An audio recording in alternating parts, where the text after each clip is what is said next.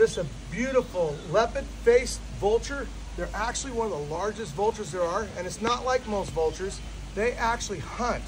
It's beautiful, and here's the wild part. You see that beautiful face? It turns red. as an adult. Yeah, adult. Look at this.